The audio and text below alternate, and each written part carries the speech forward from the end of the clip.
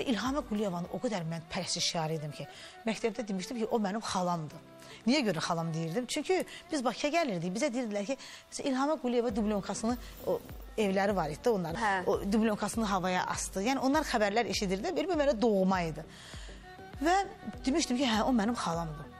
Gəlib məndən soruşurlar, onun neçə uşağı var ailəsi haqqında.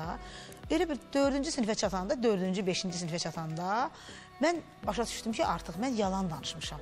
Mən bunları nə qədər uyduracağam. Onda bildim ki, yalan danışmaq yaxşı deyil. İlhamə Quliyeva mənim xalamdır da. Düz İlhamə Quliyeva sağ olsaydı gözündən ona xala deyərdim. Deyərdi sən məndən qoycasan. Sən mənim bacımsan.